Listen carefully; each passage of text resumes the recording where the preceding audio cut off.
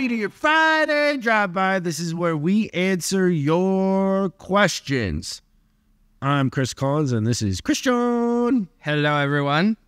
This is Friday. This is your drive by. We are about to have a ton of fun going into the weekend. Remember, if you want to have fun, you want swag, you want to be part of the cool crowd, 8333 Ask SDR, 8333 Ask SDR. Let's go to today's question. Hey, Chris. My name is Mark Gonzalez. Um, I'm calling to leave you a question concerning some games. Um, you talk a lot about games with the technicians. Do you have any that you recommend, like some top performing games? I like the idea and want to put something in place at my new shop to motivate the team in the morning to get them up and going for the day. Wii Bowling, where every pin that they knock down is worth like, I don't know, 25 cents or something, is really fun. Doing uh, garbage cans with footballs and putting them at different lengths and then throwing the footballs.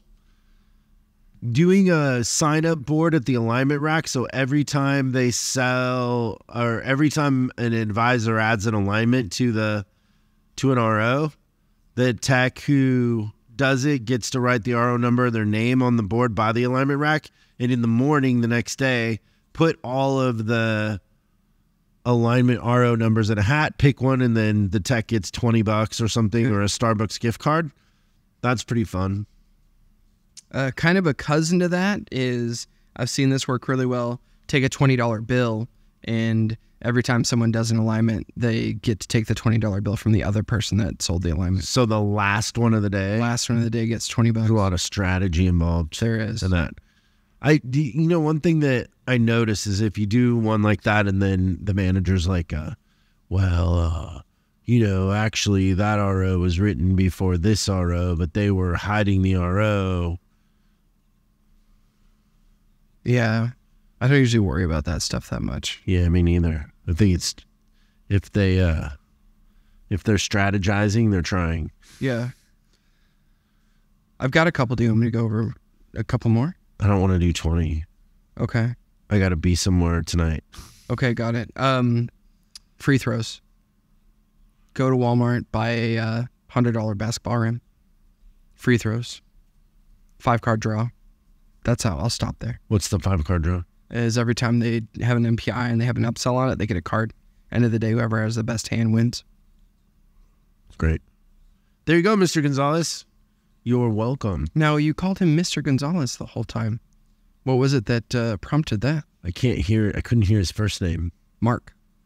Oh, see, I wrote down Art. I guess we'll find out. Mr. Gonzalez, we heard that right. I was I trying think, to his, be I think his name was Mark. was trying to be safe. Yeah, you were. You did well. Mark Art Gonzalez. I'm really Have glad I great- asked you about it. Have a great weekend.